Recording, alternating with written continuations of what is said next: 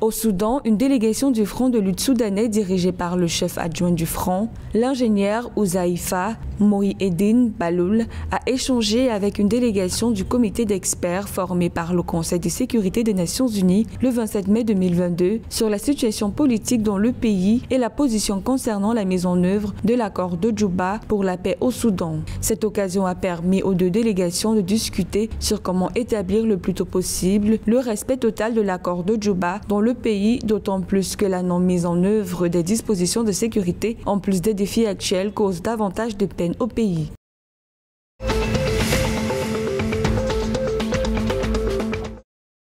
Le Soudan exprime son rejet concernant les projets de mise en œuvre de la troisième phase de remplissage du grand barrage de la Renaissance éthiopienne. Selon le Soudan, avec ces décisions, l'Éthiopie risque d'accroître les tensions entre les deux pays. Pour Kifel Oro, le chef de projet du barrage controversé que l'Éthiopie est en train de construire sur le Nil, notamment la production d'électricité du grand barrage de la Renaissance, le troisième remplissage du barrage aura lieu en août et septembre 2022.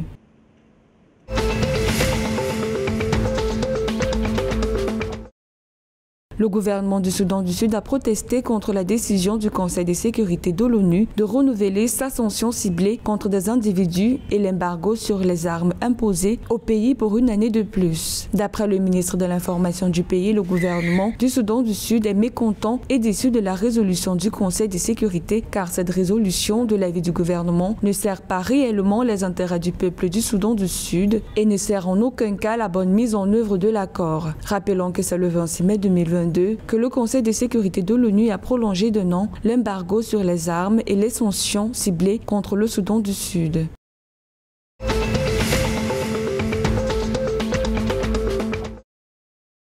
Un total de 150 soldats de forces rwandaises de défense et 36 membres de la police nationale rwandaise se sont rendus le vendredi 26 mai en Ouganda pour participer au 12e exercice d'entraînement sur le terrain des forces armées de la communauté de l'Afrique de l'Est, baptisé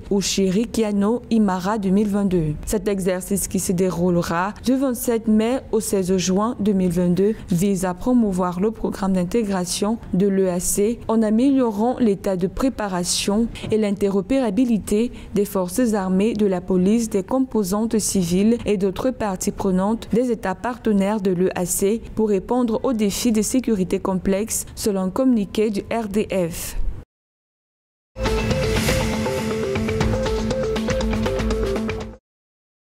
La Tanzanie va recevoir un prêt de 550 millions de dollars de la Banque mondiale pour débloquer les goulots d'étranglement critiques des routes et des aéroports du pays. Selon les autorités tanzaniennes, ce financement permettra via ce projet de renforcer le rôle de la Tanzanie en tant que pays de transit et de tirer parti plus efficacement de ses parcs nationaux pour le tourisme. Le fonds contribuera également à mieux gérer le secteur.